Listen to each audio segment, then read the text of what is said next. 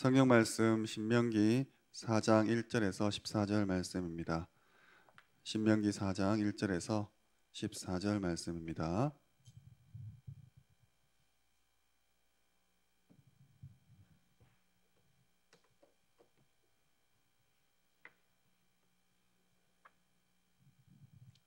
신명기 4장 1절에서 14절 말씀을 교독하도록 하겠습니다. 네, 1절 말씀입니다. 이스라엘아 이제 내가 너희에게 가르치는 규례와 법도를 듣고 준행하라. 그리하면 너희가 살 것이요 너희 조상의 하나님 여호와께서 너에게 주시는 땅에 들어가서 그것을 얻게 되리라.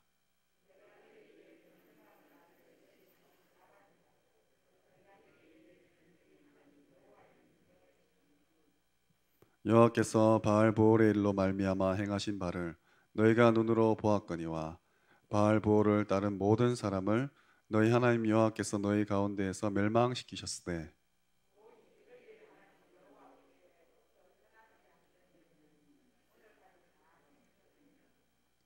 내가 나의 하나님 여호와께서 명령하신 대로 규례와 법도를 너희에게 가르쳤으니 이는 너희가 들어가서 기업으로 차지할 땅에서 그대로 행하게 하려 함인즉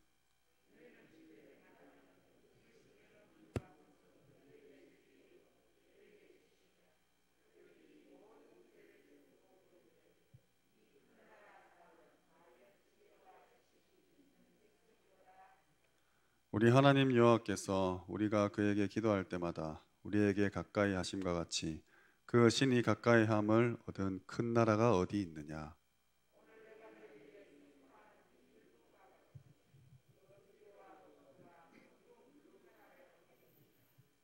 오직 너는 스스로 삼가며 내 마음을 힘써 지키라. 그리하여 네가 눈으로 본 그 일을 잊어버리지 말라. 내가 생존하는 날 동안 그 일들이 내 마음에서 떠나지 않도록 조심하라. 너는 그 일들을 내 아들들과 내 손자들에게 알게 하라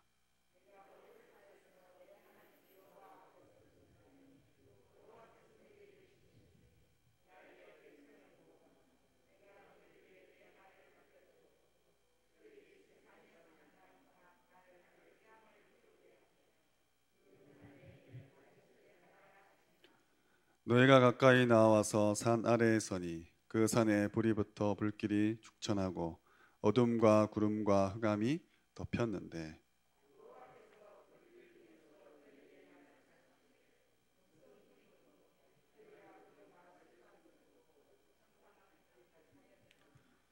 여호와께서 그의 언약을 너에게 반포하시고 너희에게 지키라 명령하셨으니 곧 십계명이며 두 돌판에 친히 쓰신 것이라 그때 여호와께서 내게 명령하사 너에게 규례와 법도를 교훈하게 하셨나니 이는 너희가 거기로 건너가 받을 땅에서 행하게 하려 하심이니라. 아멘. 네, 오늘 말씀 제목은 완전한 말씀과 항상 동행하라입니다. 완전한 말씀과 항상 동행하라입니다. 어, 우리 성도님들뿐만 아니라 모든 사람들의 매일매일의 삶이 또 한주한 주의 생활들이 마치 전쟁터와 같다고 하셨습니다. 이러한 현장에서 실패하지 않도록 하나님께서는 압축해서 말씀을 주셨는데 그것이 오늘 읽은 신명기입니다. 가나안 땅 앞에서 하나님께서는 이스라엘 백성을 향해 집중해서 말씀을 주신 것이죠. 이제 앞으로 너희가 가나안 땅을 정복할 것인데 그 정복의 비밀이 가장 중요한 것이 무엇인지 알려 주셨습니다. 그래서 오늘 읽은 성구처럼 말씀이 내 마음에서 떠나지 않도록 해야 합니다. 오늘 구절 말씀에 오직 너는 스스로 삼가며 내 마음을 힘써 지키라고 했습니다. 하나님의 말씀에 항상 귀를 기울이고 집중하고 내 마음을 거기에 두는 것입니다. 학생들이 왜 독서실을 가고 왜 유학을 가겠습니까? 집에 있으면 자꾸 냉장고 디벼보고 책상 정리하고 TV 인터넷 보고 환경 자체가 공부할 수 없도록 만드는 유혹이 많기 때문이죠. 한국에 남아 있으면 계속해서 한국말을 쓰니까 환경 자체를 바꾸는 것입니다. 어떻게 보면 학생 나름대로의 노력을 하는 것이죠. 그렇다면 성도 역시 내가 말씀을 받기 위한 그런 시스템을 만들기 위해서 부단히 노력하셔야 됩니다. 내 나름대로의 규례와 법도를 가지고 하나님을 만날 수 있는 시간과 공간을 확보하는 것이죠. 그래서 훈련을 받고 대회에 참석하고 수련회에 가는 겁니다. 안 되지만 개인 정시 기도를 이, 이 시간 저 시간 바꿔가면서 또 장소도 이렇게 해보고 저렇게 해보면서 부단히 하나님을 바라볼 수 있는 그 말씀을 받는 시간을 내 나름대로 도전해 보는 것입니다. 오늘 구절 말씀에 눈으로 본 그 일을 잊어버리지 말라 했습니다. 우리 인간은 망각의 동물이기에 아무리 좋은 것도 아무리 슬픈 것도 금방 시간이 지나면 잊어버립니다. 어떤 내가 원하는 물건을 가져도 금방 그 기쁨은 사라져 버리고 죽을 것 같았는데 하룻밤 자고 나면 그래도 살만하다라고 말하는 게 우리 인간들이죠. 하나님의 말씀이 우리의 마음 속에서 우리의 머릿 속에서 떠나지 않도록 조심하라고 말씀하셨습니다. 하나님이 이렇게 말씀하신 이유는 조심 안 하기 때문이죠. 잊어버리지 말라 한 이유는 잊어버리기 때문입니다. 그래서 말씀을 우리와 또 우리 주변과 우리 후대들에게 반드시 전달해야 됩니다. 무한하신 하나님께서는 우리를 무한한 존재로 창조하셨습니다. 하나님의 형상으로 만드신 것이죠.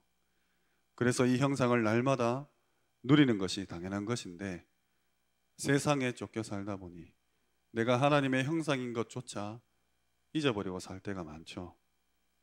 또 무한히 누릴 것이 영혼입니다. 성령께서 우리 안에 가득 차심으로 우리가 생명이 되었죠. 구원을 받았다는 말입니다. 이 구원의 감격과 감사가 이제는 너무나 당연한 것이 되어서 어쩐 날은 교회 오는 것이 귀찮을 정도로 당연시 되어 버렸다면 내가 어떤 존재인지 영적인 존재가 어떤 것인지 다시 한번 깨달아야 됩니다.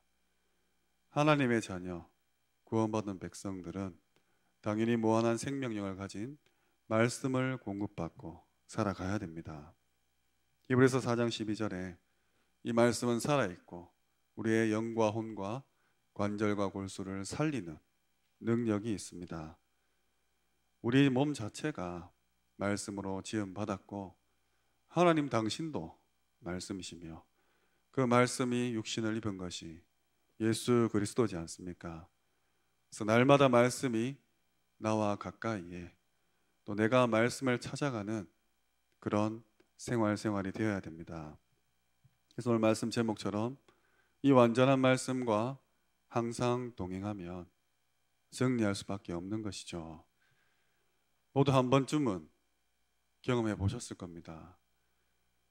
그 누구도 나를 위로해 줄 수 없고 그 어떤 말도 내게 힘이 되지 않을 때 정말 철저히 외롭고 나는 이제 아무 희망이 없고 낙이 없구나라고 정말 마음에 저 밑바닥까지 갔을 그때에 하나님의 말씀이 어쩜 이렇게 내 상황과 똑같 같은지 내 마음을 만져주고 위로해주고 알 수 없는 힘들이 올라오는 느낌들을 한 번은 받으셨을 겁니다. 아무것도 아닌 말씀인데 그냥 이스라엘 백성을 향해서 한 역사의 기록일 뿐인 줄 알았는데 지금 이 시대를 살아가는 나와 너무 맞다는 거죠. 그리고 왜인지 모르겠으나 내게 힘이 된다는 겁니다. 그러면 하나님이 우리를 매일매일 순간순간 이 힘듦으로 지옥 같은 곳으로 몰아가셔야 되겠습니까? 평상시에 내가 응답 받으면서 증거를 누리면서 말씀과 함께함으로 이제 더 이상 나를 위로하고 힘주시는 말씀이 아니라 다른 사람을 위로하고 힘줄 수 있는 그런 말씀으로 내가 먼저 누리고 전달하는 전도자의 그런 삶을 사는 것이죠. 하루하루가 행복하고 건강하고 기쁨이 넘칠 것입니다.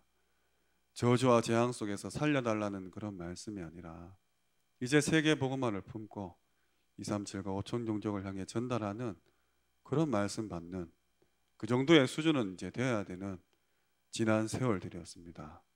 숱하게 훈련받고 예배드리고 전도 현장에 나가서 캠프하고 많이 했지 않습니까? 정말로 살아있는 하나님의 말씀, 완전한 말씀과 항상 동행하셔야 됩니다. 그렇다면 첫 번째로 날마다 새 은혜로 살아가라. 날마다 새 은혜로 살아가라입니다. 하나님은 매일 우리가 눈 뜨자마자 우리에게 말씀 주시기를 원하시는 분일 겁니다. 그래서 하루의 일을, 하루의 삶을 하나님 말씀 받는 성경 구절 한 절이라도 내가 읽고 시작한다면 그 말씀은 우리에게 날마다 새 은혜를 주실 겁니다. 내가 만나야 될 사람, 오늘 당해야 될 일들을 하나님께서 미리 아시고 말씀을 주는 게 과학이지 않겠습니까? 하나님이 우리의 머리털까지 세신 바 됐는데 오늘 내가 접해야 되고 만나야 되고 당할 일에 대한 그 해답인 말씀을 당연히 미리 주신다는 거죠. 이를 위해서 내 생각부터 멈추라고 하셨습니다. 일단 말씀을 받아도 우리 인간은 나에게 유리한 대로 해석을 하는 그런 이상한 체질 가운데 살아왔고 살아가고 있죠. 이렇게 되면 신앙생활이 아니라 종교생활입니다. 하나님을 믿는 게 아니라 하나님을 끌어와서 이용하는 것이죠. 그래서 예배 시간은 이것의 전쟁이라 하셨습니다. 하나님의 말씀이냐, 내 생각이냐, 싸우는 것이죠. 내게 좋으면 받고, 내게 싫으면 내뱉는 그것은 그냥 세상 사람들의 말이죠. 세상 사람들의 위로죠.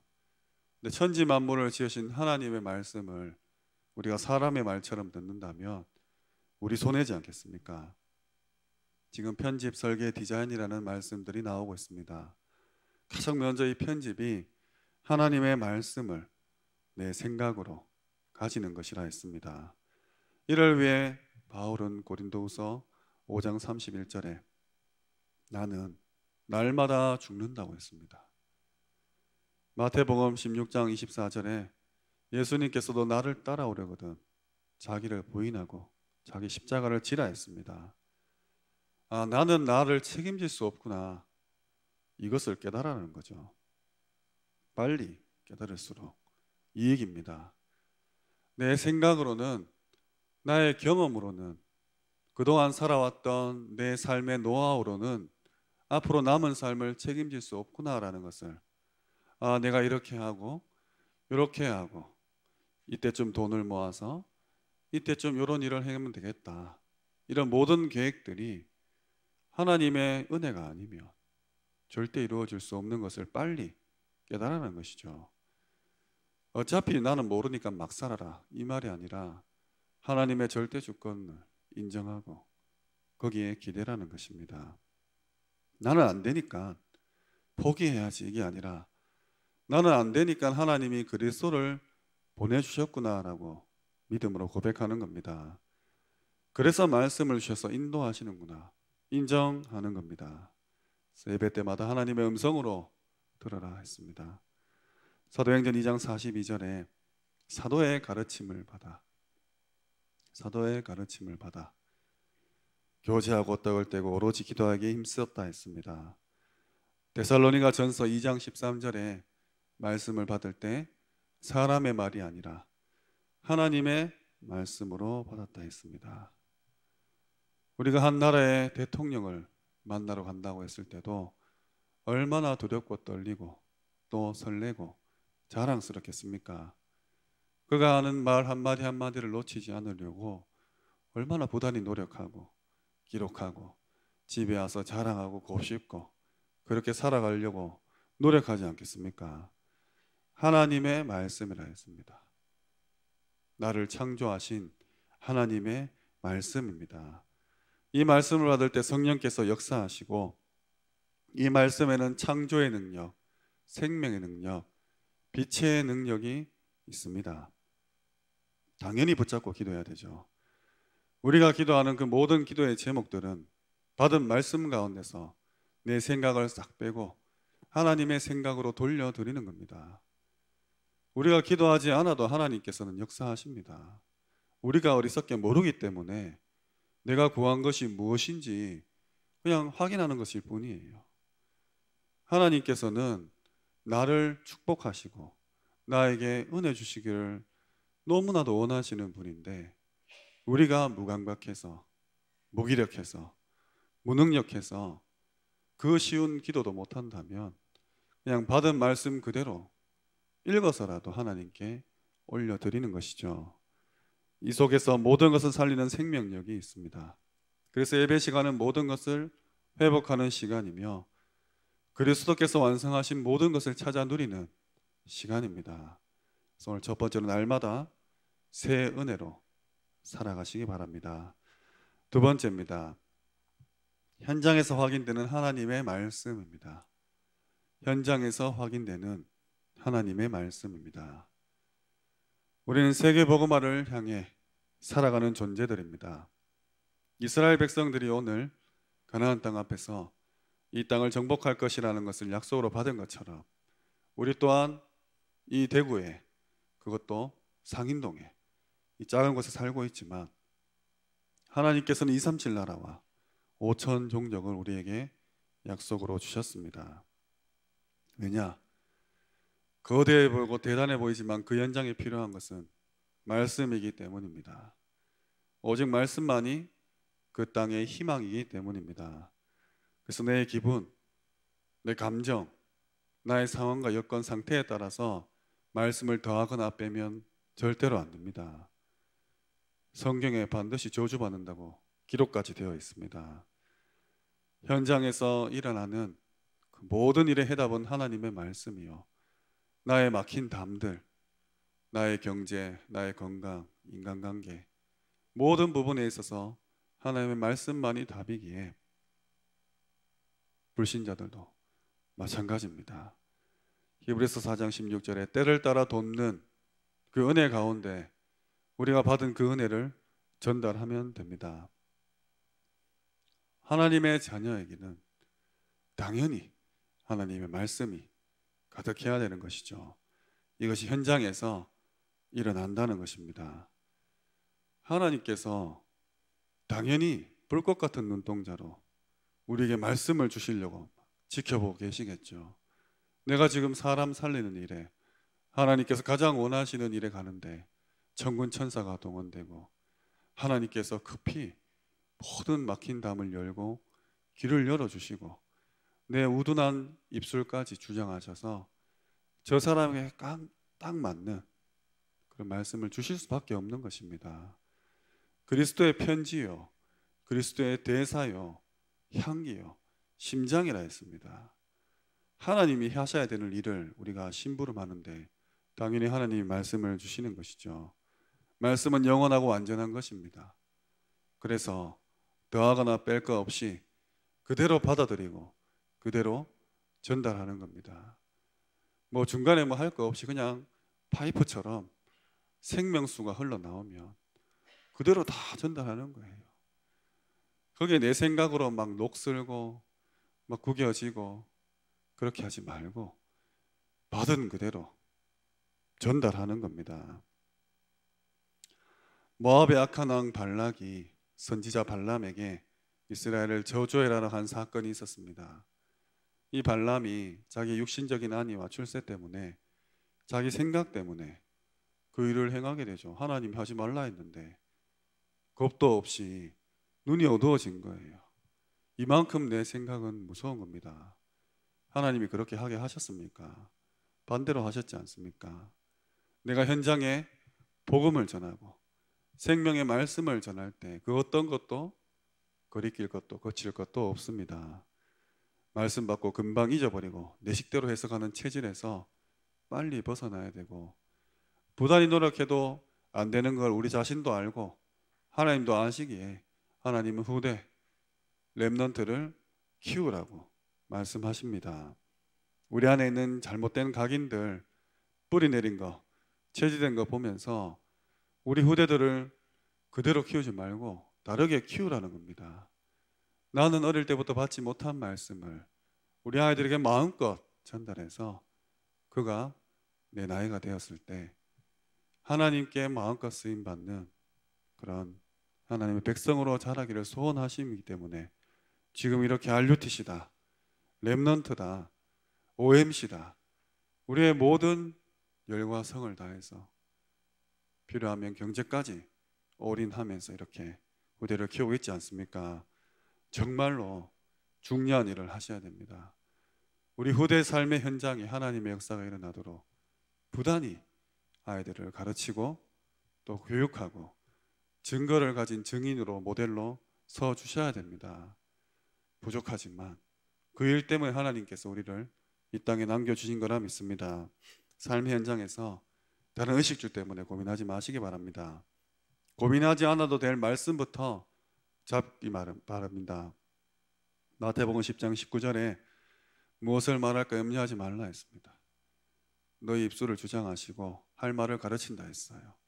우리 후대들 앞에서도 세상 말, 불신앙적인 말, 교회의 흉을 보고 직접적으로 이야기하지 않더라도 집에서 부부간에 나누는 대화 속에서 현장에서 나도 모르게 튀어나오는 그런 불신앙의 말 절대 우리 후대들에게 전달하지 마시기 바랍니다.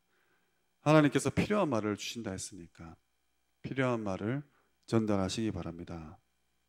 계산하지 마시기 바랍니다. 사람 말부터 듣지 마시기 바랍니다. 생각부터 하지 마시기 바랍니다. 말씀 받고 기도부터 하셔야 되죠. 신명기 4장 4절 말씀 여호와께부터 떠나지 않은 너희는 오늘까지 다 생존하였느니라. 하나님의 말씀을 가까이 한 사람들만 마지막까지 승리했습니다. 말씀을 맺겠습니다. 지금은 하나님의 말씀이 더욱더 필요한 그런 시대입니다. 한마디로 풍랑만난 시대죠. 희망이 없는 시대입니다. 세상의 많은 지식과 정보들은 매일매일 쏟아지지만 이것들로 이 땅의 재앙을 해결할 수는 없습니다. 지금 하나님의 말씀이 가장 필요한 것이죠.